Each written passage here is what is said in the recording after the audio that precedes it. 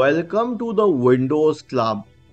If you wish to remove text box and convert it to a dotted frame in Microsoft PowerPoint, then either read to this article on the website or simply watch this video. I will guide you through the procedure.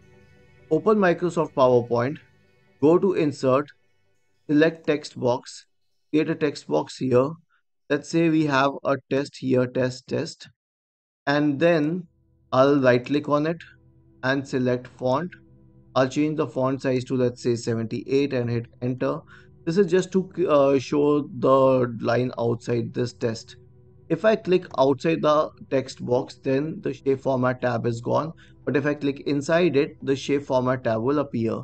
Now inside the drawing tab in the shape format tab, click on the second option which reads as shape outline, the downward pointing arrow associated go to the dashes section and select a certain dotted outline. Let's say I'll pick up this square dot, but it still looks like a line because the dots are so small that they look like a line here.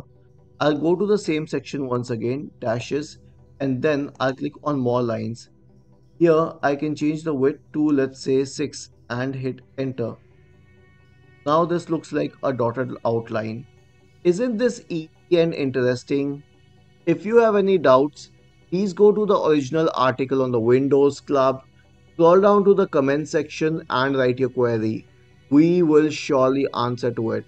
Do not forget to subscribe to the channel.